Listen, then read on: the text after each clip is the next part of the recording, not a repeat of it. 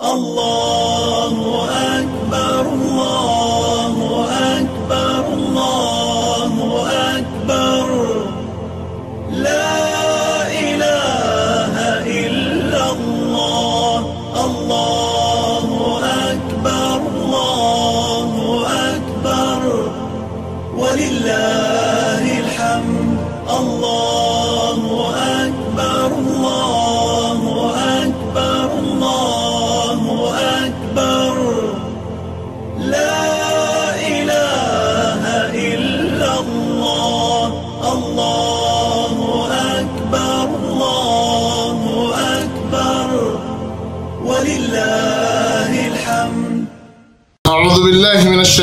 الرجيم. بسم الله الرحمن الرحيم. إن الحمد لله نحمده ونستعينه ونستغفره ونستهديه ونعوذ بالله من شرور أنفسنا ومن سيئات أعمالنا. من يهده الله فهو المهتدي ومن يضلل فلن تجد له وليا مرشدا. وأشهد أن لا إله إلا الله وحده لا شريك له. وأشهد أن سيدنا وحبيبنا وقدوتنا محمد رسول الله صلى الله عليه وعلى اله وصحابته ومن اهتدى بهديه الى يوم الدين اما بعد louange et gloire à Allah le clément le miséricordieux le tout miséricordieux le très miséricordieux que la paix, le salut et la bénédiction d'Allah soient sur le prophète de l'islam, le prophète de l'humanité, le prophète Muhammad sallallahu alayhi wa sallam, sur sa famille, sur ses compagnons et sur tous ceux qui suivent et suivront ses enseignements jusqu'au jour du jugement dernier. Chers téléspectateurs de la Sunna TV, nous vous adressons la salutation de l'islam, la salutation du paradis, la salutation éternelle et nous vous disons Assalamu alaikum wa rahmatullahi wa barakatuh. Que la paix et la bénédiction d'Allah soient sur vous, quel que soit l'endroit où vous vous retrouvez aujourd'hui, quelle que soit votre situation, que vous soyez tout le temps bénis et que Allah subhanahu wa ta'ala, le clément, le miséricordieux nous comble de sa miséricorde, de sa grâce et de sa bénédiction, qu'il nous assiste dans la dans adorations et dans nos affaires, dans nos activités, et qu'il nous oriente tout au long de notre vie vers le bon et le droit chemin. Chers téléspectateurs, de nos jours, le capitalisme a pris la gestion du monde. C'est-à-dire, tout est matériel de nos jours.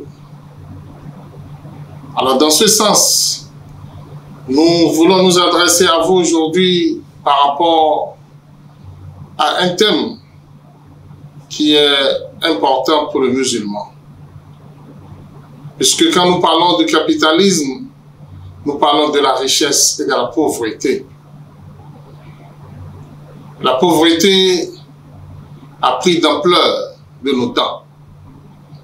La vie est pratiquement devenue difficile pour la majorité des habitants de, de cette terre. Ce qui fait que chacun se demande aujourd'hui comment allons-nous gérer la pauvreté.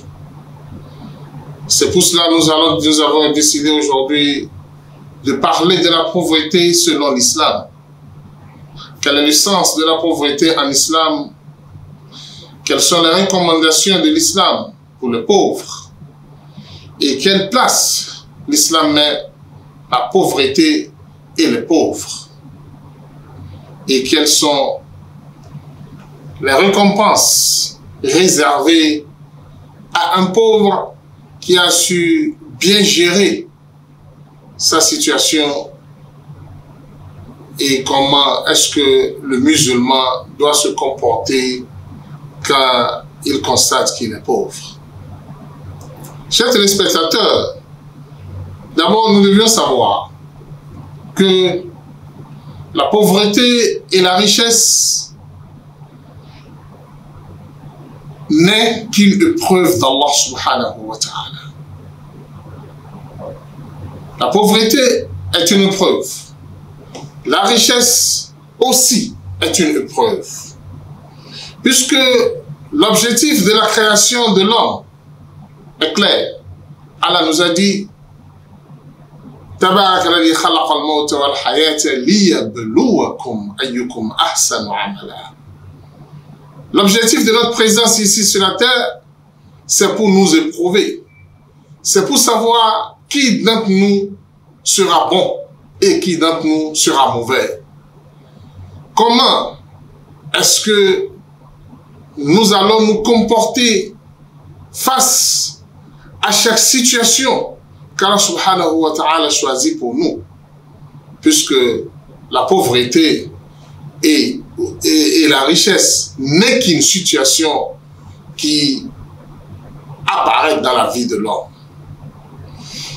Alors, dans ce sens, Allah veut connaître qui sont ceux-là qui vont se patienter face à la pauvreté et qui sont ceux-là qui vont remercier le Seigneur Allah subhanahu wa ta'ala pour la richesse.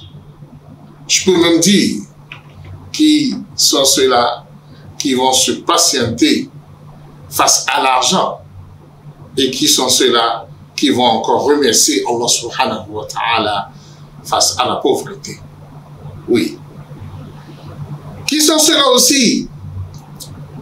Dont l'argent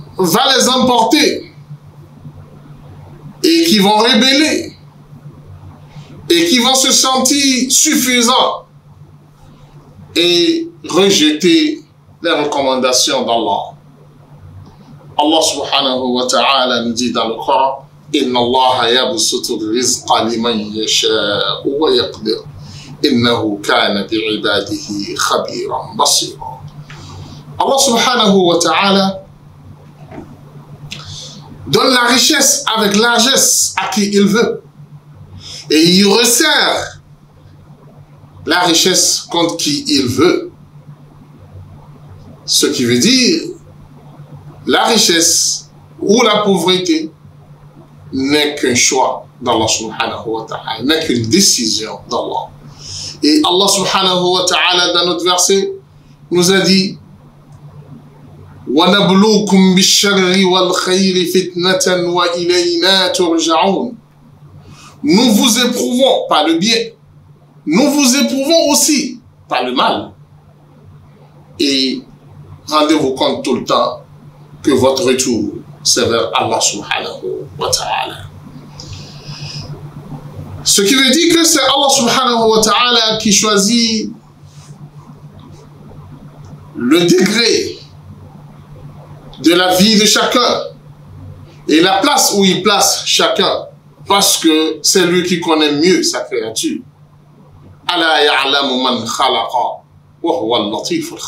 Ah oui, seul Allah subhanahu wa ta'ala connaît sa créature. Alors il sait quel est l'état d'âme qui convient à chacun d'eux. Quelle est la situation qui convient à chaque créature. Si Allah aime une créature, et il sait bien que si ce dernier obtient la richesse, il va rebeller. Allah subhanahu wa ta'ala va lui choisir la pauvreté. Parce qu'il l'aime. Pour qu'il puisse obtenir la satisfaction d'Allah subhanahu wa ta'ala, puisque en étant pauvre, il pourra mieux adorer Allah subhanahu wa ta'ala. De pareil pour, pour, l'autre aussi. Si Allah subhanahu wa ta'ala aime une créature, il sait que la pauvreté ne le convient pas. Avec la pauvreté, il va se retrouver dans la mécréance. Allah subhanahu wa ta'ala va lui choisir la richesse.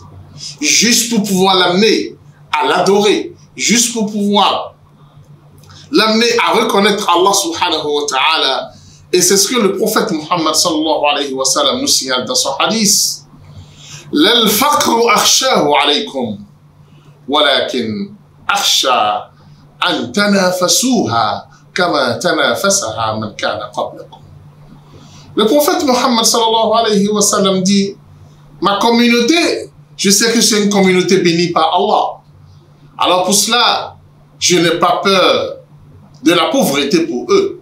Seulement, j'ai peur de la richesse. Parce que quand ils auront la richesse, ils ne pourront plus adorer Allah subhanahu wa ta'ala. Quand ils auront la richesse, ils vont tout le temps concourir. Concourir à la richesse. Et comment augmenter la richesse, comment augmenter la richesse, ce sera ça leur objectif. Comme les communautés qui l'ont précédé avaient fait, ils vont aussi faire pareil. C'est pour cela que j'ai peur de la richesse pour ma communauté. Alors, dans ce sens, il faut qu'on se pose la question. Qu'est-ce qu'on appelle pauvreté? Parce que lorsque l'homme ne comprend pas le sens de ce mot, il va toujours agir mal. Il y a une pauvreté générale. Une pauvreté générale. dont personne ne peut être à l'abri. Personne ne peut être à l'abri. Allah subhanahu wa ta'ala nous annonce dans le Coran en disant ila Allah. Wallahu al-ghaniyyul hamid.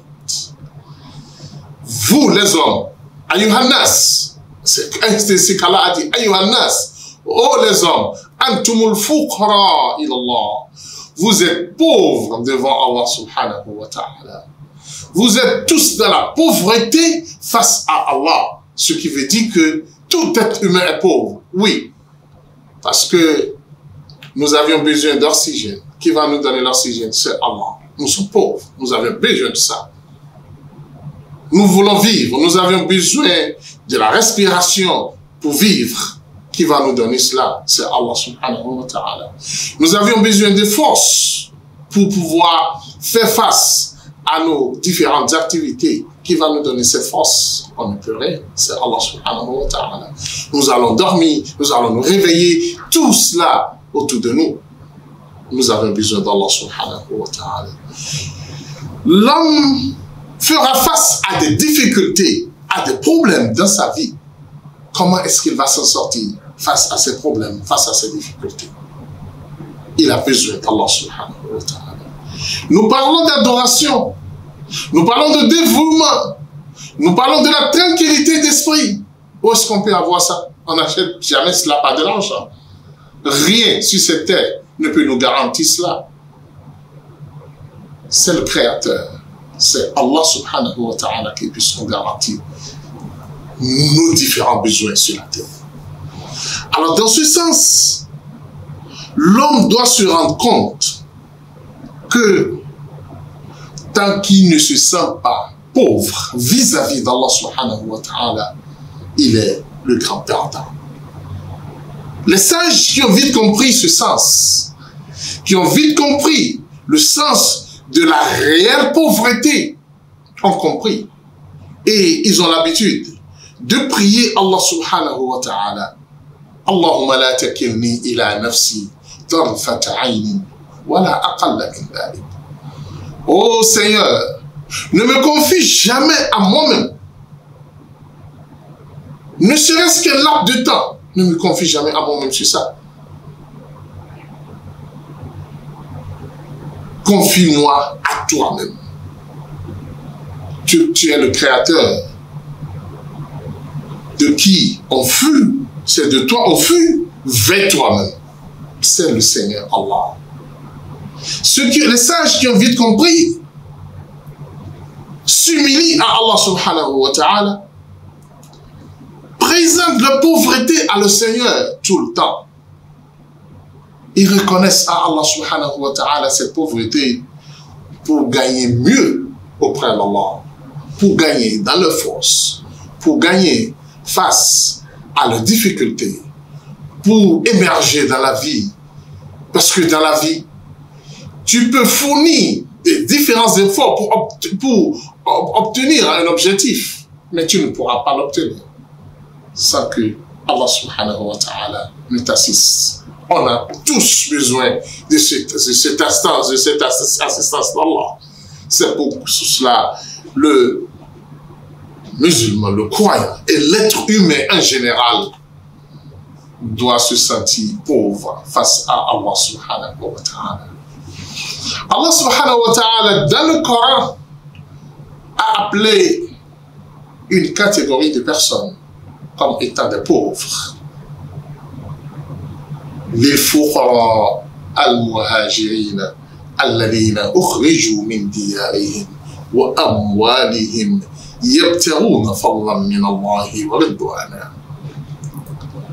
ce sont les croyants en Allah subhanahu wa ta'ala, les vrais et les réels croyants que l'islam n'a jamais connus. C'est les compagnons du prophète Muhammad sallallahu alayhi wa sallam. Ce sont ceux-là qui ont embrassé l'islam à la première heure à la Mecque. Allah les a appelés les pauvres les pauvres qui, se sont immigrés de la Mecque pour se rendre à Médine. Ils sont sortis de la Mecque avec leur religion. Ils n'ont plus d'abri. Ils n'ont plus d'argent. Ils sont les pauvres. Malgré qu'il y a quelques-uns parmi eux qui étaient riches, mais Allah les a tous appelés des pauvres parce qu'ils se ressentent tous pauvres envers Allah subhanahu wa ta'ala. Mais la pauvreté, en réalité, n'est pas un paramètre pour pouvoir juger l'homme sur la terre. Il faut d'abord comprendre cela. Parce que c'est là où beaucoup d'entre nous, beaucoup d'entre nous ont échoué. Ils pensent que parce que telle personne est riche, c'est parce qu'Allah subhanahu wa ta'ala l'aime plus que moi et tel est pauvre, c'est parce qu'Allah subhanahu wa ta'ala ne l'aime pas. Et on pense que c'est la pauvreté et c'est la richesse qui détermine l'amour d'Allah subhanahu wa ta'ala pour quelqu'un ou qui détermine la place de quelqu'un auprès d'Allah subhanahu wa ta'ala. Tenez-vous tranquille. Le Coran est clair.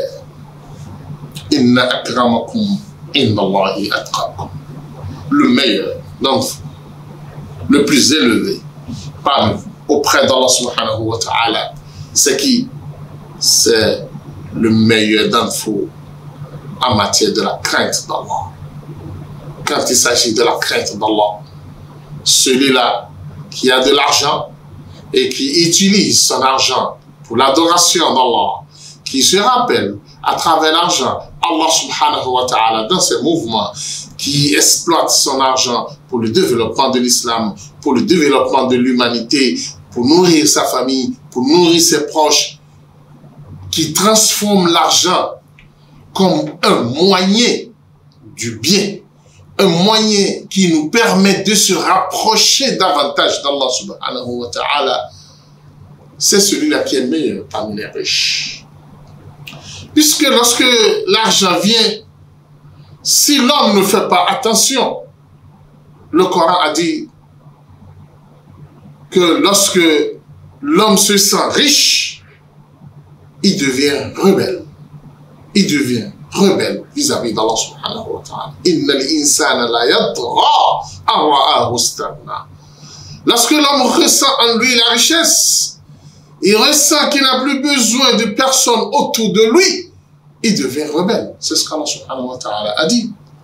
C'est pour cela que lorsque la richesse vient vers quelqu'un, il est appelé à faire beaucoup attention. Parce que s'il ne fait pas attention, il va s'éloigner de l'adoration d'Allah subhanahu wa ta'ala. S'il ne fait pas attention, vous allez le voir, il aura de difficultés même pour sortir l'argent, à part pour ses objectifs personnels, les objectifs lié à la nature, lié à sa religion, lié à ses proches, il va toujours voir ça comme étant difficile. Parce que lorsque tu t'adresses à un homme pour pouvoir lui demander quelque chose, tu sais bien que c'est une manière de, de lui, tu es en train de le poser face à un dilemme, face à une difficulté. Non. Parce que soit il n'aura pas l'amour de te, de te donner, mais il va vouloir préserver ses renommées et il te donne. Il va vouloir préserver ses, ses, renommées pour te donner. Alors, dans ce, dans ce sens, ce qu'il t'a donné là, c'est le haram. Parce que il ne t'a pas donné à cause d'Allah. Il n'obtient pas de récompense auprès d'Allah subhanahu. Et ce qu'il vient de faire, c'est tout juste pour à cause, à cause de renommée. Et quand il s'agit de renommée auprès d'Allah, ça devient ria. Et quand c'est de l'ostentation, l'ostentation auprès d'Allah subhanahu wa ta'ala n'est considérée que shirk al-asghar. Et le shirk al-asghar, c'est parmi les grands péchés. C'est parmi les grands péchés. Alors, dans ce sens, lorsque l'homme est ainsi comme ça, qu'est-ce qu'il a gagné de l'argent? Ou soit, il refuse de te donner. Et après ton, ton, ton, départ, il ressent le chagrin. Pourquoi je ne lui ai pas donné? Parce que l'homme, face à l'argent, il a toujours une réflexion. Je le donne, mon argent va diminuer. Je le donne. Parce que lui, lui là, il n'est pas bon, il n'est pas normal. Pourquoi je vais lui donner? Il va commencer par juger l'autre à travers tel et tel comportement. Et dans ce sens, il devient avare. Il devient avare. Il ne dépense plus l'argent sur la voie d'Allah subhanahu wa. C'est pour cela que la situation de celui qui est riche, l'épreuve pour lui est tellement difficile à gérer. Et en plus, le jour du jugement dernier, la situation sera encore grave. Puisque le prophète Mohammed sallallahu alayhi wa sallam dit les pauvres de ma communauté seront déjà dans le paradis une demi-journée avant que les, les riches ne les rejoignent. Une demi-journée auprès d'Allah subhanahu wa ta'ala est égale à 500 ans. Puisque inna yawman inda rabbika ka alfi sanatin mimma ta'udun. Un jour auprès d'Allah subhanahu wa ta'ala est égal à 1000 ans. À 1000 ans. Selon vos décomptes. Selon votre manière de compter dans la vie ici-bas. Alors dans ce sens, le pauvre Puisque lui, il n'a rien à présenter. Il ne sera comptabilisé. Qu'est-ce qu'il a on va, on va essayer de l'évaluer sur quoi Il n'a rien à présenter. Alors que l'autre, comment est-ce que tu as gagné l'argent? Un centre, deux cents, mille francs, deux mille francs, un million, un milliard, billion, ainsi de suite. Comment est-ce que tu as pu rassembler cela? Je pense que c'est difficile lui, il doit répondre à chaque chose. Alors que le pauvre n'a rien à répondre. Mais le pauvre, le plus difficile de son côté, c'est comment est-ce qu'il va gérer cette pauvreté. Comment est-ce qu'il a géré la pauvreté? Est-ce qu'il a accepté? Est-ce qu'il a refusé? Est-ce qu'il a rejeté? Est-ce qu'il a aimé Allah subhanahu wa ta'ala? Est-ce qu'il a adoré Allah malgré sa pauvreté? C'est de ça qu'il s'agit. Et c'est ce que nous allons aborder à la deuxième partie de notre émission pour pouvoir vous apporter les enseignements de l'islam aux pauvres.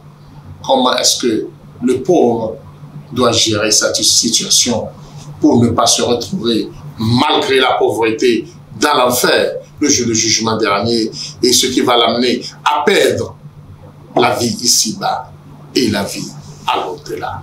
Qu'Allah subhanahu wa ta'ala nous donne la meilleure compréhension de notre religion, qu'il fasse que nous comprenons le sens de chaque situation dans notre religion qui nous comble de ses bienfaits et de sa grâce. Nous vous retrouvons en deuxième partie pour vous apporter des éclaircissements sur le les comportements des pauvres.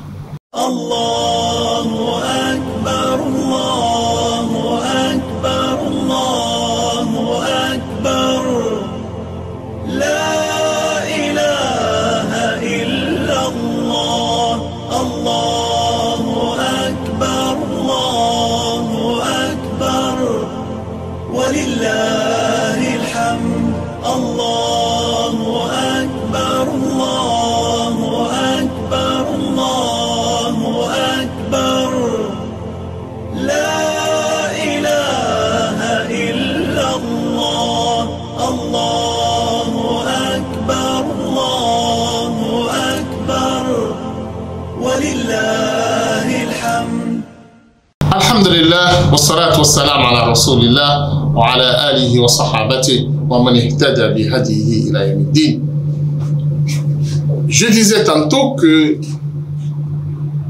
la situation du pauvre est une situation vraiment délicate. Parce que le pauvre doit reconnaître que sa pauvreté n'est pas de lui, ça vient d'Allah subhanahu wa ta'ala. Puisque à Allah appartient, certes, la richesse. Et il a dit,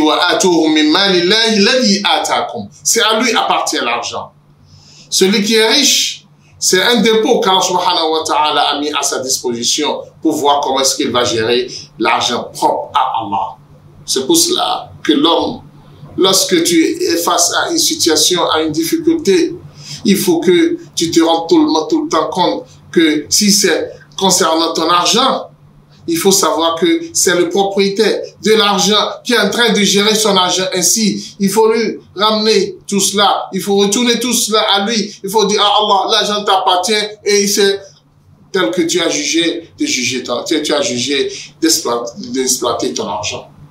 Alors, dans ce sens, le pauvre qui a vite compris que l'argent, c'est pour Allah. Et c'est lui qui partage comme il veut. Et il a décidé ainsi pour lui. Alors il doit, il y a des comportements à respecter par un pauvre. Le premier comportement concerne son cœur, son sentiment interne par rapport à cet argent, à l'argent. Lorsqu'il se retrouve face à une difficulté, à une situation, il voit qu'il n'a pas de l'argent comment est-ce qu'il va agir? Il doit d'abord accepter le choix d'Allah. Ça, c'est le, minimum de, du sentiment. Qu'il accepte car que cela, c'est le choix d'Allah. Il peut lui arriver qu'il déteste la pauvreté, qui n'aime pas la pauvreté, qui rejette la pauvreté, la pauvreté, quant à toi, je ne t'aime pas, mais c'est ce que Dieu a choisi pour moi. Allah subhanahu wa ta'ala, pardonne-moi. Ça, c'est le bas de tous les degrés. Deuxième degré, il accepte le choix d'Allah pour lui et il accepte la pauvreté comme étant une créature d'Allah subhanahu wa ta'ala. Et il ne déteste pas la pauvreté. Il voit que c'est Allah qui lui a choisi comme pour être pauvre. Et Allah subhanahu wa ta'ala a la pauvreté en main et il fait de la pauvreté ce qu'il veut. Il ne la déteste pas parce que c'est une créature d'Allah. C'est Allah subhanahu wa ta'ala qui l'a envoyé sur la terre pour des objectifs. Alors, il n'est pas contre la décision d'Allah subhanahu wa ta'ala sur lui et sur sa créature. Ça, c'est le deuxième degré.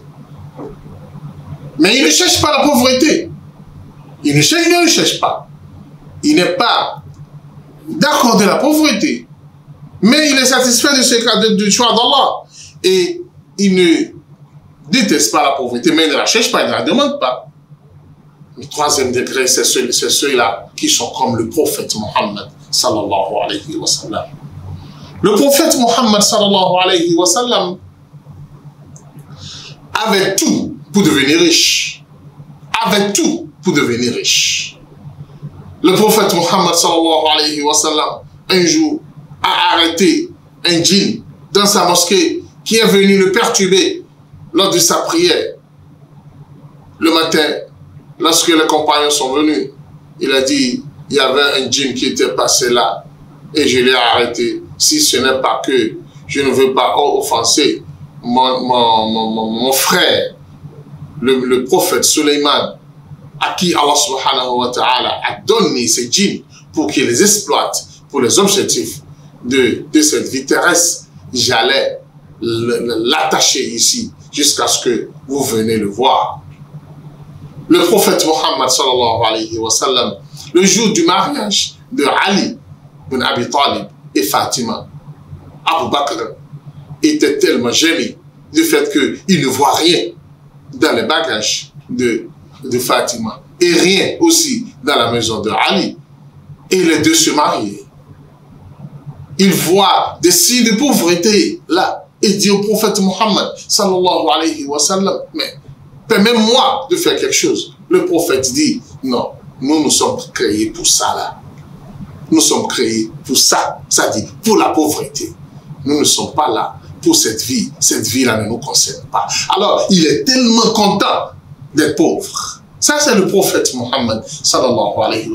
Il est joyeux. Il se, ressent très à l'aise face à la pauvreté. Ça, c'est le degré du prophète Mohammed, sallallahu alayhi wa. Et que seuls les compagnons qui ont vécu avec le prophète Mohammed, sallallahu alayhi wa sallam, avaient cette capacité.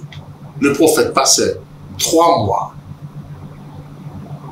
trois mois sans manger ni de viande, ni rien comme repas.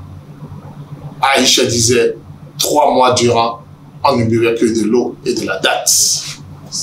Ça, c'est le prophète Mohammed, Trois mois durant, aucun feu n'est allumé dans notre maison.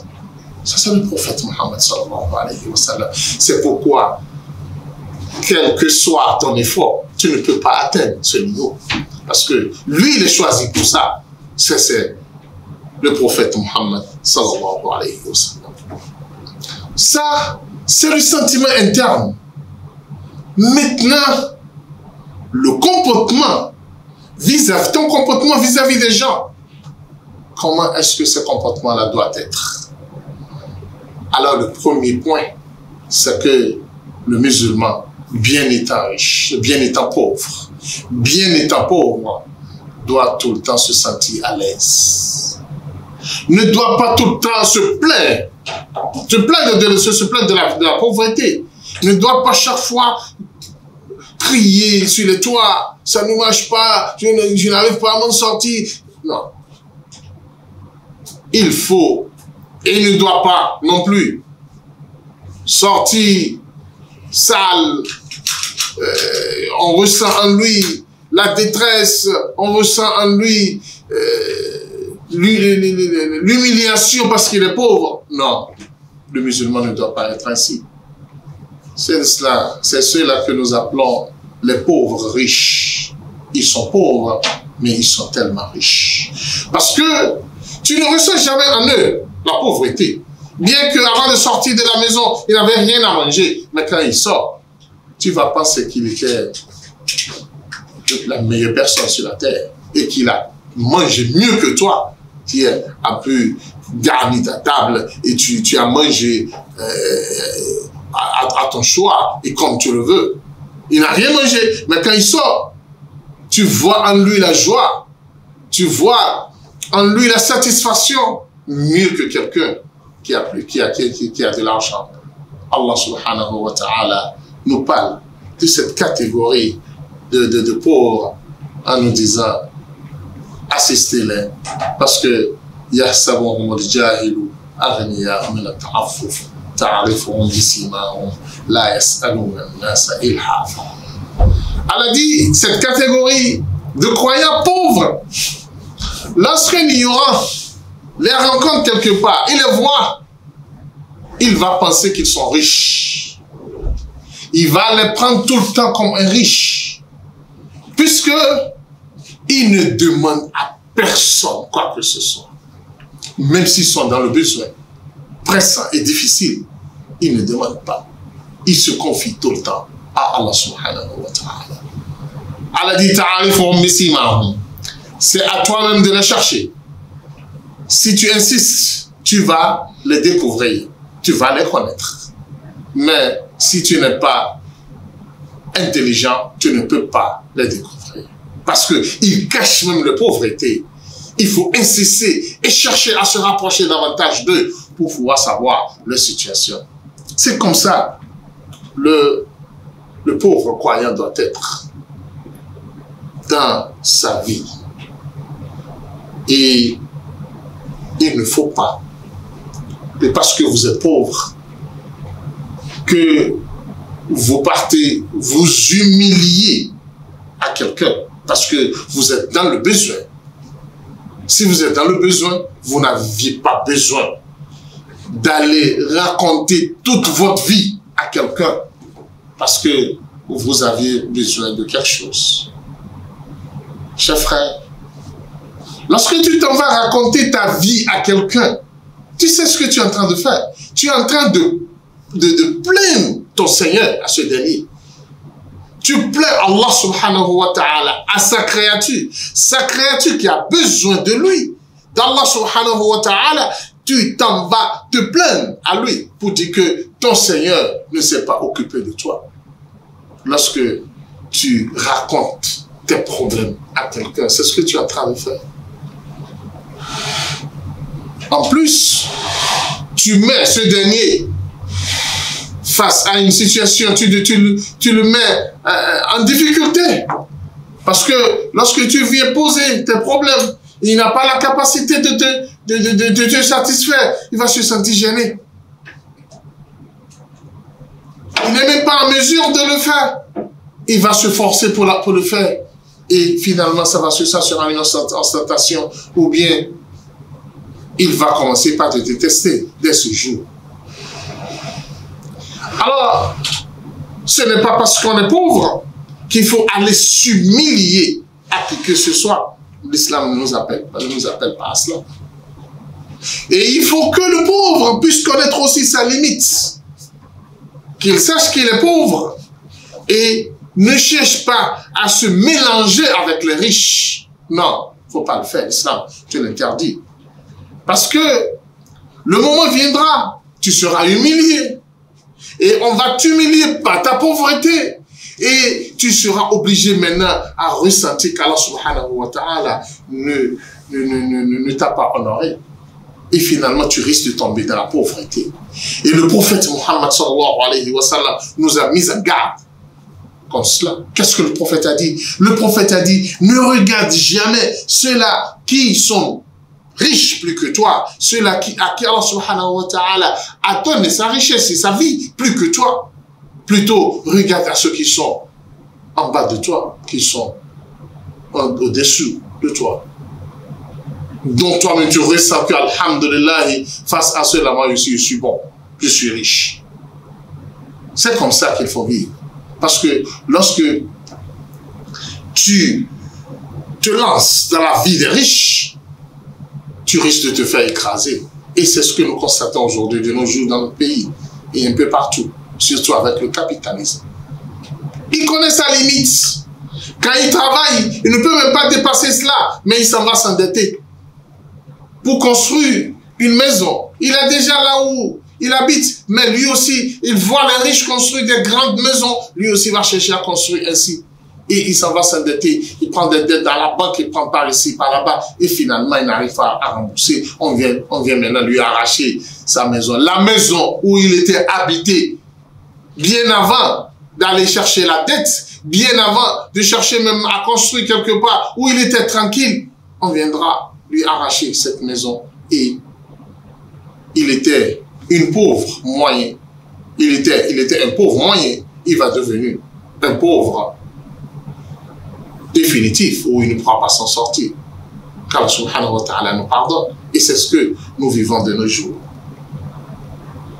Chers fidèles téléspectateurs, la pauvreté ne doit pas vous amener à négliger l'adoration d'Allah subhanahu wa ta'ala.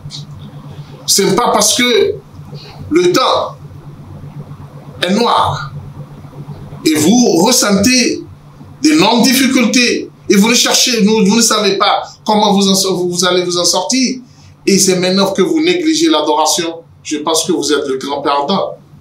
Parce que Allah subhanahu wa ta'ala nous a invités dans le Coran. Si tu es face à la difficulté, la patience et la prière. C'est l'adoration d'Allah subhanahu wa ta'ala seul qui va, te suffire et qui va te sortir de tes problèmes. Lorsque vous créez Allah subhanahu wa ta'ala, Allah vous donnera des issues. Des issues face à vos problèmes. Face. Ce qui veut dire que pendant la pauvreté, vous devrez être plus rattaché à l'adoration d'Allah subhanahu wa ta'ala. Connecté tout le temps aux écrits. Puisque Allah subhanahu wa ta'ala dit, « Alladhina amanu »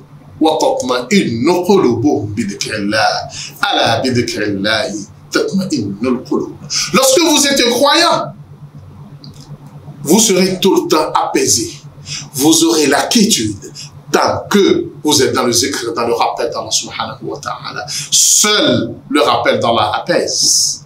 Alors, lorsque vous, êtes pauvre et vous vous éloignez de l'adoration d'Allah subhanahu wa ta'ala, je pense que votre situation deviendra encore difficile et difficile. Chers téléspectateurs, laissez-moi rappeler que, vous rappeler que ce n'est pas parce qu'on est pauvre qu'on ne va pas dépenser sur la voie d'Allah subhanahu wa. Tu te vois pauvre, mais tu constates que tu as 2000 francs 1000 francs te suffit pour tes besoins et tu as quelques réserves de 1000 francs, sors de ce 1000 francs-là.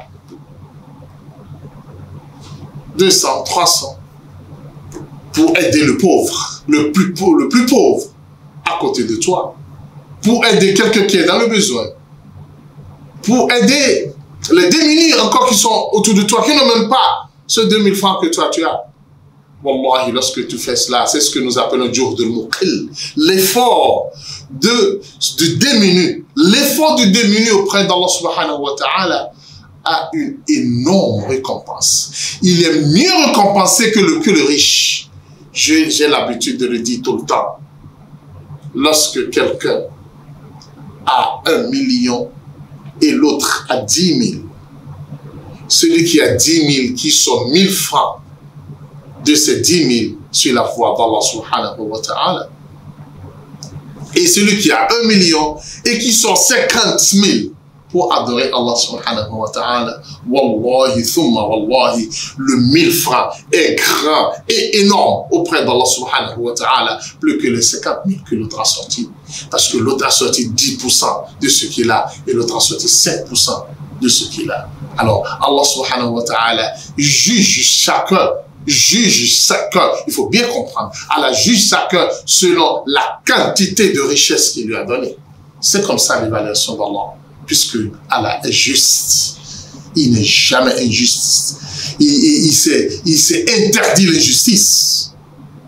C'est pour cela, ne dites jamais que vous êtes pauvre et que les gens sont en train de sortir des dizaines, des centaines de, de, de mille et vous, vous n'aviez que que, que, que, que 10 000. Qu'est-ce que vous allez sortir face à cela? Qu'est-ce que ce que vous vous sortez là va faire de l'œuvre? Wallah, sachez que peut-être c'est avec votre 1000 francs là qu'Allah subhanahu wa ta'ala et de la satisfaction qu'Allah a pour votre 1000 francs qu'il va les assister dans l'œuvre et la bénédiction de votre 1000 francs pourrait faciliter la réalisation de l'œuvre géante qui est, qui est, qui est devant les hommes.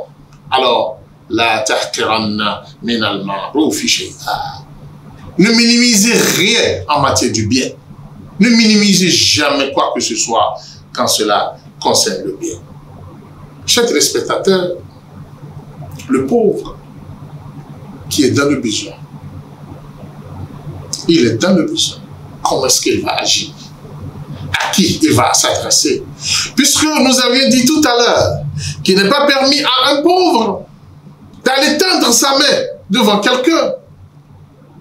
Parce que lorsque tu t'en vas tendre la main, ça veut dire que tu es en train de plaindre ton Seigneur à ce dernier.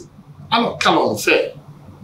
Il faut comprendre que l'islam, oui, a rendu le fait de commander, de devenir un mendiant, c'est haram en islam, c'est un haram.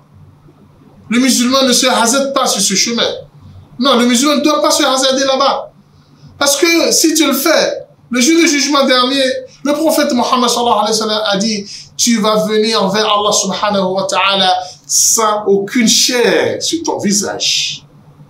Oh, sans chair et sans sang. C'est comme ça que tu vas te présenter le jour du jugement dernier parce que tu as pris la, la, chair et le sang de ton visage, tu l'as déjà passé ça devant les gens par, par ici et par là-bas, ce qui a fait partie tout ce qui représente l'être humain en toi. Il n'est permis à quelqu'un de tendre la main, sauf face à un besoin extrême. Sauf face à un besoin extrême. Le compagnon Koubaïsan, radiallahu ta'ala anhu, était allé voir le prophète Mohammed sallallahu alayhi wa pour lui exprimer ses besoins. Il dit au prophète Mohammed sallallahu alayhi wa j'ai une énorme dette pour ma famille. Pouvez-vous m'aider à rembourser ma dette? Alors il est dans le besoin. Il est face à une difficulté. Et le prophète Mohammed sallallahu alayhi wa sallam a aussi l'habitude d'implorer Allah subhanahu wa ta'ala de l'épailler de, de la dette. Parce que lorsque vous êtes endetté, vous êtes humilié. Lorsque vous êtes endetté, vous n'êtes plus libre, libre dans votre vie. Puisque à tout moment, on peut venir taper à votre porte, nuit comme jour, et vous ne pouvez rien. C'est pourquoi la dette, réellement, l'islam demande à ce que nous assistons ceux qui sont endettés et non augmenter encore la dette. Il est endetté, il, il vient vers toi, tu dis je t'endette encore pour aller payer une dette.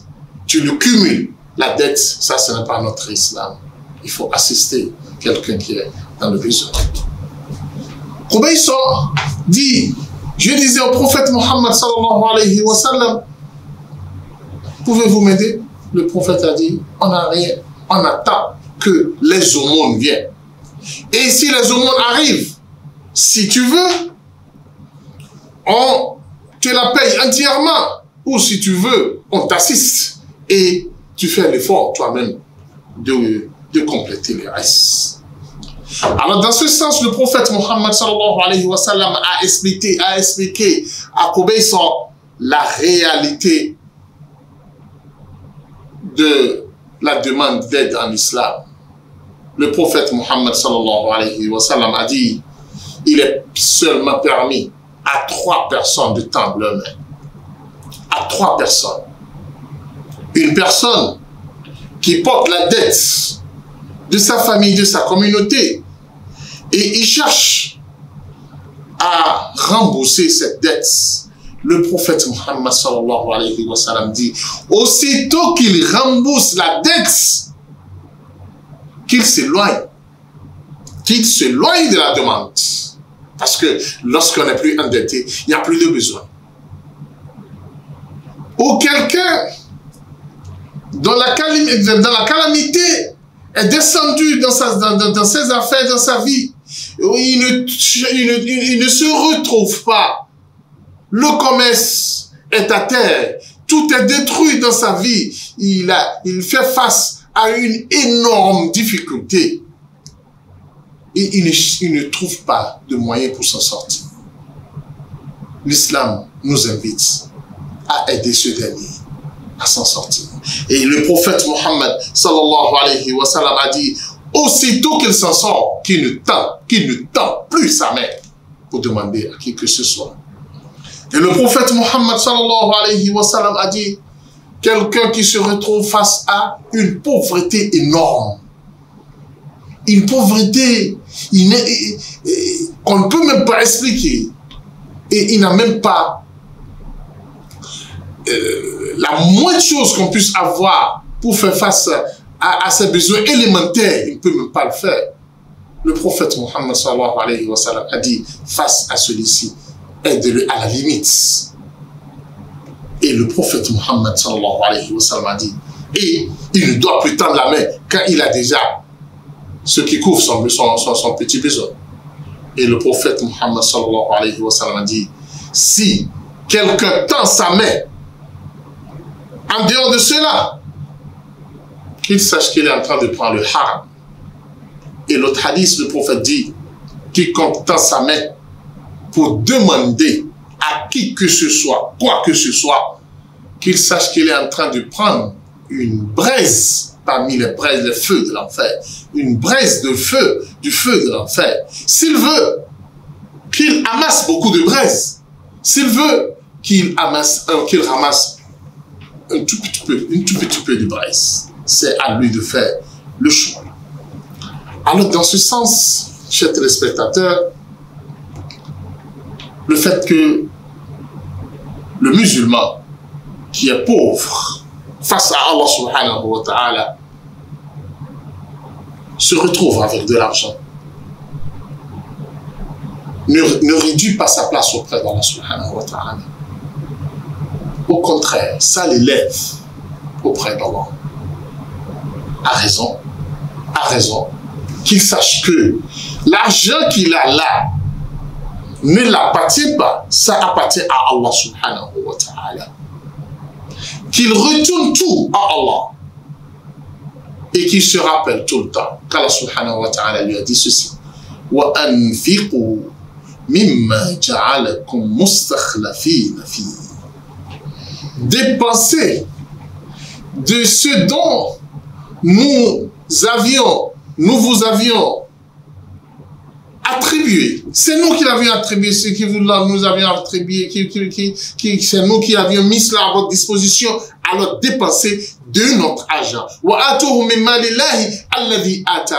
Dépensez de l'argent d'Allah qu'Allah subhanahu vous a donné. Alors dans ce sens, lorsque un mal arrive à son argent, lorsqu'il est face à une situation, à une difficulté, et il se rend compte que l'argent appartient à Allah subhanahu wa ta'ala et, et cette difficulté qui lui arrive vient d'Allah subhanahu wa ta'ala, il dit Allah, dans sa sagesse, il sait pourquoi il a fait venir cela et il est satisfait d'Allah il se retourne à Allah, il demande à Allah de l'alléger la situation parce qu'il sait que tout vient de lui. C'est ceux-là qui sont riches parce que la, la, la, pauvreté, ce n'est pas la pauvreté face à l'argent. La richesse aussi, ce n'est pas la richesse en ayant beaucoup d'argent. La richesse, c'est la richesse de l'âme. Lorsque vous avez un cœur riche, vous avez une âme riche, vous êtes le plus riche sur la terre. Et lorsque quelqu'un ne comprend pas le sens de la pauvreté et le sens de la richesse dans la vie, vous allez le voir tout le temps pauvre. Et le prophète sallallahu alayhi wa sallam a dit, lorsque vous ne ressentez pas la réalité de la pauvreté, vous serez tout le temps pauvre. Vous serez riche, malgré cela, vous serez aussi tout le temps parce que chaque fois, vous allez vous plaindre par ici et par là-bas. qu'Allah subhanahu wa ta'ala nous amène à mieux comprendre notre, notre, notre, notre religion, qu'il fasse de nous un homme qui sera tout le temps riche dans son cœur, dans son âme, et se ressent tout le temps pauvre face à Allah subhanahu wa ta'ala. سبحانك اللهم وبحمدك نشهد لا إله إلا أنت نستغفرك ونتوب إليك سبحان ربك رب العزة عما يصفون السلام على المرسلين والحمد لله رب العالمين الله أكبر الله أكبر الله أكبر لا